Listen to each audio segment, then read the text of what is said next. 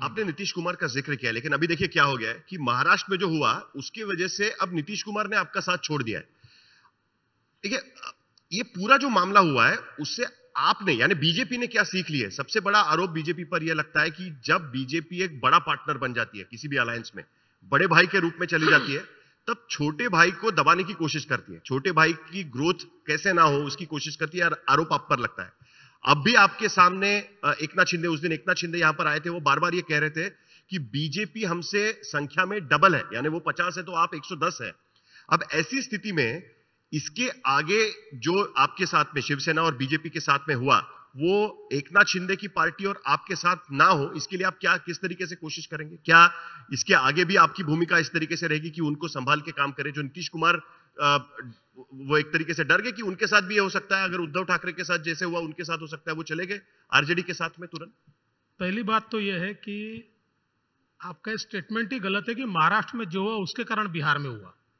बिहार बिहार है भैया वहाँ की राजनीति अलग है हम्म। उसका महाराष्ट्र की राजनीति से कोई संबंध नहीं है।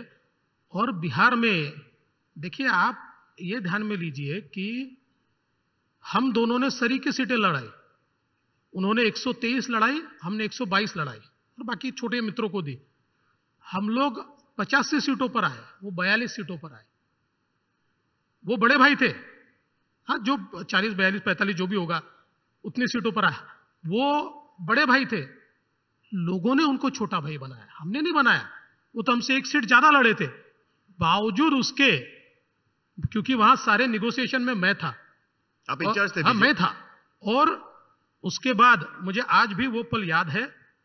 नीतीश जी ने ये हमको कहा। मैं झूठ नहीं बोलूँगा। नीतीश जी ने कहा कि देखिए, हमारे तो कम आए हैं तो आप लोग फैसला लीजिए कि आपको क्या करना है। उस समय माननीय हमारे प्रधानमंत्री जी ने स्पष्ट रूप से कहा नीतीश जी को कि देखिए नीतीश जी, हमने मिलकर यह घोषणा की है कि आप हमारे मुख्यमंत्री पद के उम्मीदवार होंगे। हमने ये नहीं कहा कि जिसके ज़्यादा आएँगे उसकी होगी या आपके कम आएँगे तो हमारा होगा। हमने जब यह घोषणा की कि आप मुख्यमंत्री पद के उम्मीदवार हो तब आपके कम आए या ज़्यादा आए मुख्यमंत्री आप ही बनेंगे और नीतीश जी को हमने मुख्यमंत्री बनाया। अब देखिए बिहार की राजनीति में एक अपना रंग होता है। हम्म। बिहार बिहार है। तो नीतीश जी के ध्यान में आया कि और ये विधानसभा के चुनाव के समय उनके ध्यान में आया क्योंकि इस बार उनको जो सीटें मिली वो सीटें मोदी जी के कारण मिली। हम्म। मोदी जी का जो एक, वहाँ पर उनके प्रति एक सकारात्मकता जो बिहार में थी, मैं खुद देखता था। कि गाँव गाँव में जाने के बाद लोग मोदी जी का नाम लेते थे। और एक, मैं ऐसा मानता हूँ कि बहुत एंटी इनकम्बेंसी नीतीश जी की पार्टी फेस कर रही थी। लेकिन चूँकि मोदी जी के साथ वो थे, इसलिए वो इतनी सीटें उनको मिली।